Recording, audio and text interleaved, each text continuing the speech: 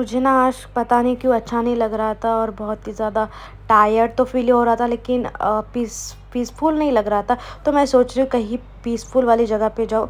तो मैं हो जाती हूँ रेडी और मैं ड्रेस डाल लेती हूँ और मैंने थोड़ा मेकअप वेकअप भी कर लिया था ये ताकि मुझे पॉजिटिव फील हो और मैं ऐसे ही लिफ्ट के मिरर में देख के नीचे उतर जाती और बहुत ही अच्छी धूप थी। It's full it's feel very good और ऑटो मुझे जल्दी मिल जाता है।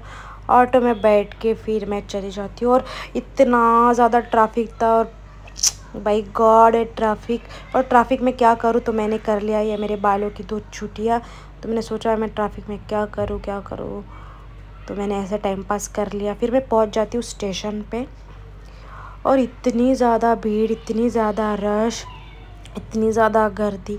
और मैं ना सोचती हूँ कभी कभी ये लोग कभी थकते नहीं होंगे क्या? ऑलवेज वो मतलब मतलब एकदम एक्टिव रहते हैं यार ये लोग। सच में इधर कभी भी स्टेशन पे आती हूँ ना, बूढ़े हो, जवान हो, कोई भी हो, मुझे लगता है कि मैं वहीं एक थकी हुई पैदा हो गई हूँ।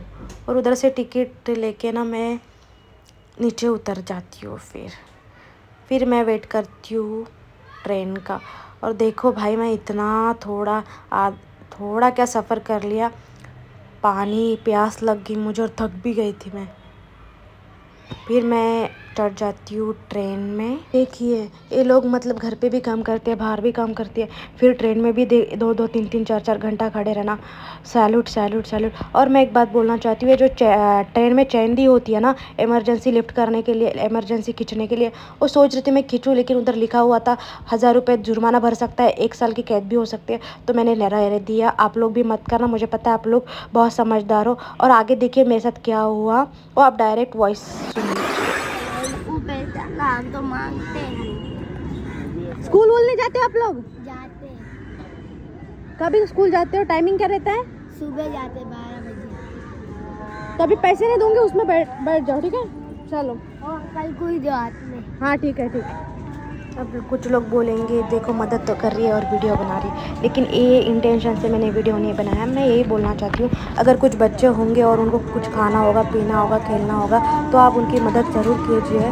पैसे मांगेंगे तो मैं नहीं देती हूँ। तो, लेकिन मैं कुछ खाना पीना रहेगा तो मैं ज़रूर हेल्प करती हूँ। और बस इतना ही। तो इन दोनों को मैंने बिठा दिया। और मैं जा रही ठीक है फिर मैं जाती हूँ। आप खेलो दस मिनट ठीक है? बाय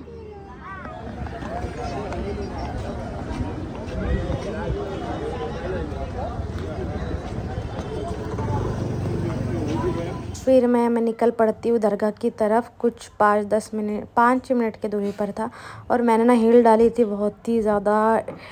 जो मेरे एरिया है ना, बहुत ज़्यादा दर्द कर रही थी, बहुत ज़्यादा। फिर मैं पहुँच जाती हूँ दरगाह में। और जो मुंबई के लोग हैं, वो तो बहुत ही बार आके गए होंगे इधर। जो जो लोग आके गए हैं, वो लोग कमेंट में ज़रूर बताना मुझे। फिर मैं पहुँच जाती हूँ अंदर।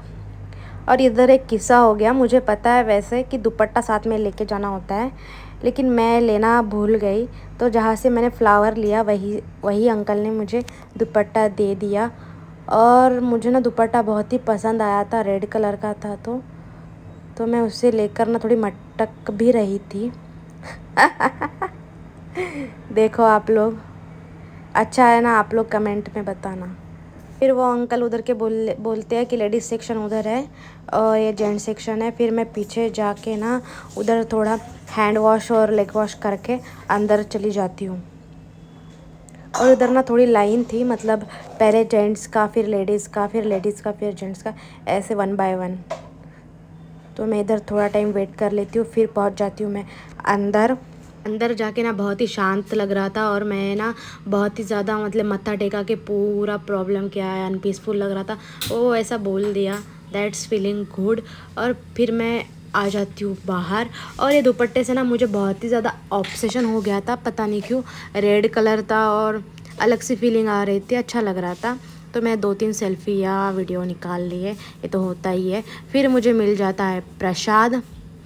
और फिर मैं दुपट्टा देने की बारी आती है।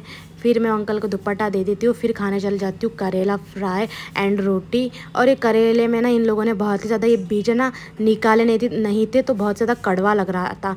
और फिर पी लेती हूँ मैं चाय। और ये व्लॉग इधर ही ख़त्म नहीं होता है, बहुत लंबा है। तो बाकी क्या क्या हुआ मैं डालती हूँ नेक्स्ट व्लॉग में।